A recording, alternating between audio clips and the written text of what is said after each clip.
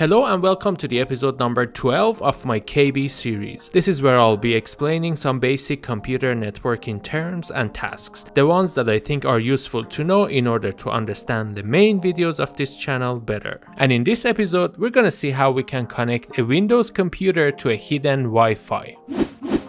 The hidden Wi-Fi that we're gonna try to connect to is called Home Wi-Fi. Now, because it is hidden, my laptop is not going to be able to detect its name. So the name is not going to show up on this list. In Windows 10, if I scroll all the way down, I should be able to see this hidden network. And as the name suggests, I can use this to connect to my hidden network. So if I click on it, I should first enter the Wi-Fi name and then the Wi-Fi password. And if everything is correct, I should be able to connect. If I have checked this connect automatically option, then as long as the network is available and the computer is powered on, then it should automatically connect. If I have not though, then the next time I want to connect to this hidden network, I should be able to find it on this list and can simply connect. So basically I won't have to do everything from scratch. Now there's something here that is definitely worth noting. This one, unlike the rest of them, is not itself an SSID. This phrase is not a Wi-Fi name. It is just something that I can use to connect to my hidden Wi-Fi which is not on this list.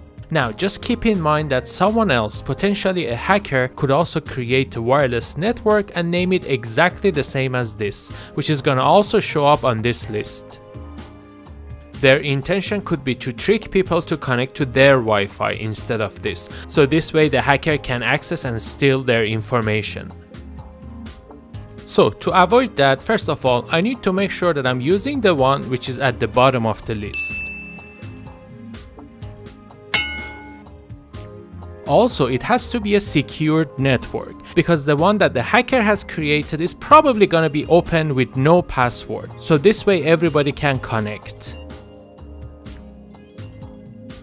And finally, if I'm using the right one, it should ask me to enter the name or SSID of the network that I'm trying to connect to.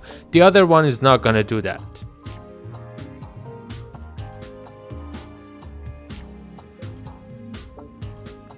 Thank you very much for watching this KB video. Please like it if you liked it and subscribe if you like to see more. Thank you again and I will see you soon.